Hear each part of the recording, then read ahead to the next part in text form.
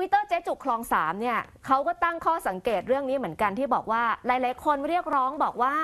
ตำรวจไทยควรจะยึดหลักสากลอืมเอาตามที่นานาอารยประเทศเขาทำกันในการที่จะดูแลจัดการกลุ่มผู้ชุมนุมเนี่ย เจ๊จุกเลยไปรวมมาให้อืมว่านานาอารยประเทศเวลาที่เขาเจอการชุมนุมแบบนี้เขาทำอย่างไรกันบ้างไปดูเลยค่ะ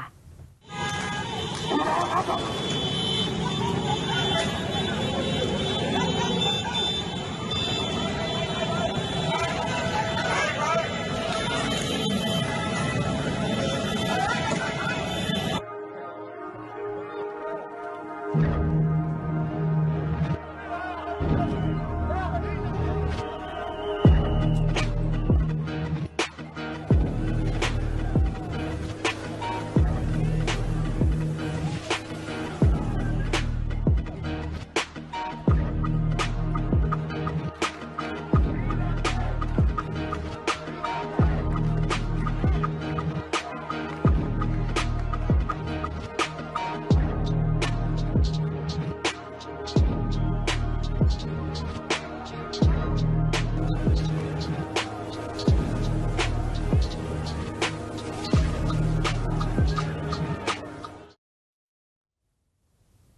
ะครับเนี่ยสากลแล้วไปประเทศนี่นะ ฝรั่งเศสนะฝรั่งเศสนี่พวกศาสดาของกลุ่มนี้เขาชอบอ้างถึงนะ เรื่องปฏิวัติฝรั่งเศสไปลองไปชุมนุมแบบนี้แล้วใช้อาวุธใช้ความรุนแรงแบบนี้ที่ประเทศฝรั่งเศสดู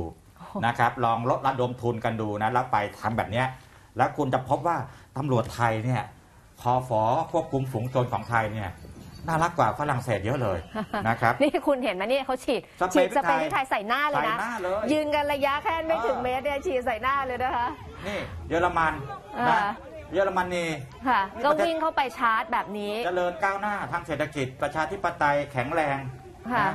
หรือแม้แต่อเมริกาอย่างเงี้ยค่ะอ่า เนี่ยเขาก็พยายามจะยกเอาประเทศที่ที่เป็นที่ยอมรับว่าเป็นประเทศที่เจริญแล้ว อเมริกาเนี่ยหลายคนค่ะยังจำได้เมื่อเร็วๆเนี้สมัยค่ะตอนเลือกตั้งประธานาธิบดีใหม่ๆ แล้วมีปัญหาเรื่องขนงคะแนนกันเนี่ยประท้วงฝ่ายหนึ่งไม่ยอมต่างๆ ไปบุกยึดรัฐสภาเนี่ยสี่ศพวันเดียวน่ะอืมนะครับเขายิงเลยนะคะ เขายิงเลย คือเสรีภาพเขาก็ยอมรับแต่เขาก็ต้องรักษากติกา ความสงบสุขของบ้านเมือง ค่ะ เวลาเราพูดเนี่ยพวกฝ่ายประชาธิปไตยที่อ้างว่าเป็นฝ่ายประชาธิปไตยในบ้านเราเนี่ยนะครับ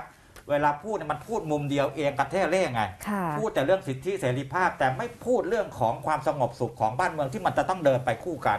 ไม่พูดถึงความเดือดร้อนของคนที่เขาไม่ได้เกี่ยวข้องกับคุณด้วยเนี่ยนะนี่ดิค่ะ อันนี้รถเนี่ย เคลื่อนเข้าไปหาแหวกเลยแหวกเลยนะคะอ่าแหวกกลุ่มผู้ชุมนุมแต่อย่างวันนั้นรถตำรวจ ฮะรถตำรวจเนี่ยต้องใช้วิธีการวิ่ง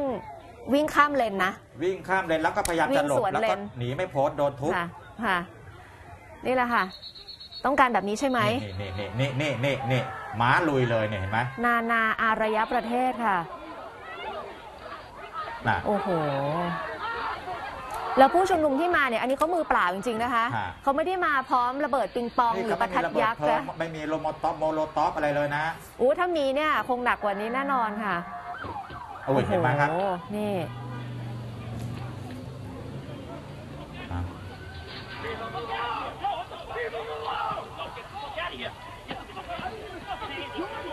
ชกเลยเนี่ยค่ะ น่ะโอ้โอ้โหนี่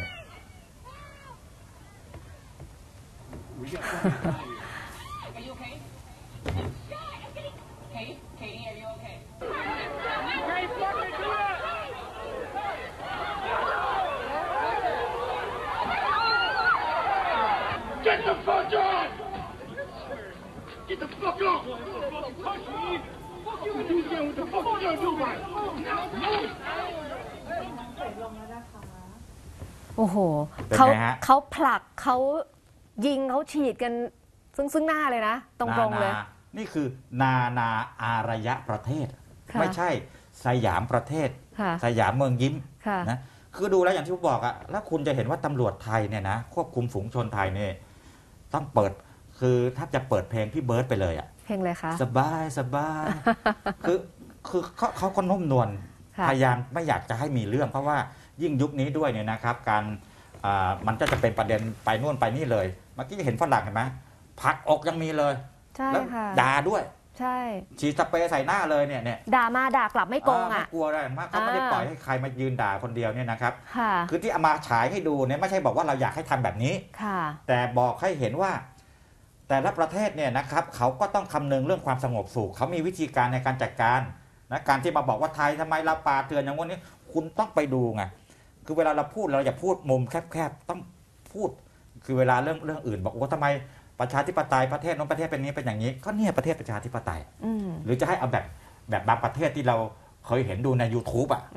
นะเอาหวายหวดปั๊บปั๊บปั๊บอย่างนั้นนะโอ้โหมันก็ใช่ไหมเออเราก็รับไม่ได้อีกอันนั้นเดี๋ยวนักสิทธิ์ออกมาอ่าแน่นอนนะคะ